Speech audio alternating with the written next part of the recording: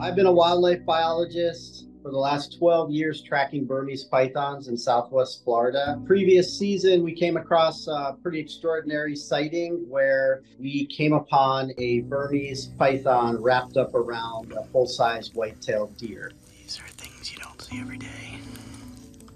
For us biologists, this was the most intense thing we've ever seen on assignment. This was um, as primal as it gets. We didn't want to alarm people. We just want to showcase what our native wildlife is up against across the greater Everglades ecosystem. And on this day, uh, the team sat down and we watched this extraordinary event unfold in front of us. Eventually, captured the python, removed the deer, got weights and measurements. We reached out to a colleague Dr. Bruce Jayne at the University of Cincinnati, and he generates these really cool measurements for the gape analysis, the maximum stretch, if you will, for the python's jaw and their mouth. This study expanded upon that maximum gape by quite a bit. That circumference of the gape equates to 32 inches. It's just an extraordinary animal. I know these images are a bit intense, but we tend to fear what we don't understand. The pythons, large snakes have been doing this all through their evolutionary history. But the concern here is for our wildlife in Southwest Florida.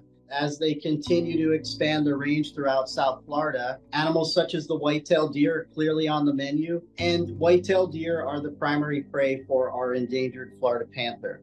So this observation is one in thousands of occurrences likely throughout the state over the years as the python expands its range and has decimated our native wildlife. And there are cascading effects occurring real time throughout the greater Everglades. A lot of times people ask what we do with these pythons when we're done with them. They all get humanely euthanized. This is a, a, a pretty remarkable animal. They're here no fault of their own.